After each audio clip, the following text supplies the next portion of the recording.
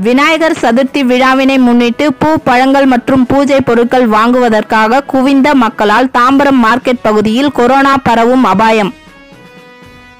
விநாயகர் சதுர்த்தி விழா நாளை உலகம் முழுவதும் கொண்டாடப்பட இருக்கிறது. விநாயகர் சதுர்த்தி அன்று வீதிகளில் விநாயகர் சிலைகளை வைத்து வழிபாடு செய்வது வழக்கம்.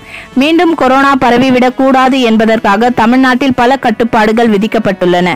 அதன் அடிப்படையில் வீதிகளில் விநாயகர் சிலைகளை வைத்து வழிபடுவது விநாயகர் ஊர்வலங்கள் நடத்துவது போன்றவற்றுக்கு தடை விதிக்கப்பட்டுள்ளது.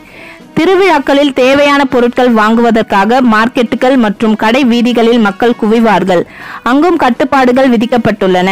முகக்கவசங்கள் அணிய வேண்டும் சமூக இடைவெளியினை பின்பற்ற வேண்டும் அதிக கூட்டம் வராமல் பார்த்து கொள்ள வேண்டும் போன்ற விதிமுறைகளை கண்டிப்பாக கடைபிடிக்க வேண்டும் என்று உத்தரவிடப்பட்டு இருக்கிறது. ஆனால் அதையும் மீறி இன்று கடை வீதிகளிலும் மார்க்கெட்டுகளிலும் கூட்டம் அலைமோதுகிறது. குறிப்பாக சென்னை தாம்பரம் மார்க்கெட் பகுதிகளில் பூ பழங்கள் மற்றும் பூஜை பொருட்கள் வாங்குவதற்காக மக்கள் ஆயிரக்கணக்கில் திரண்டிருக்கின்றனர். எங்கு பார்த்தாலும் மக்கள் கூட்டமாகவே காணப்படுகின்றது. போலீசாரால் ஓரளவுக்கு தான் தடுக்க முடிகிறது. மக்கள் அதிகமாக கூடுவதால் நோய் பரவலுக்கு வாய்ப்பாக அமைந்துவிடும் என்ற அச்சம் உருவாகியுள்ளது. எளிமையாக விநாயகர் சதுர்த்தினை கொண்டாட வேண்டும் என்று அரசு வேண்டுகோள் விடுத்திருக்கிறது. ஆனால் மக்கள் அதை அலட்சியப்படுத்திவிட்டு கூட்டம் கூட்டமாக கடைகளில் அலைகிறார்கள்.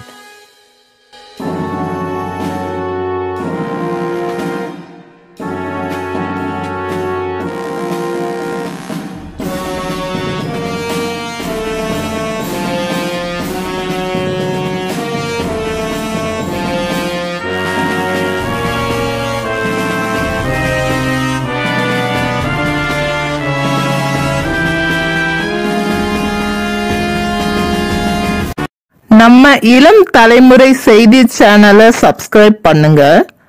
சப்ஸ்கிரைப் பண்ணாதவங்க உடனடியா போய் சப்ஸ்கிரைப் பண்ணுங்க. மறக்காம கீழே இருக்கிற பெல் பட்டனை கிளிக் பண்ணுங்க.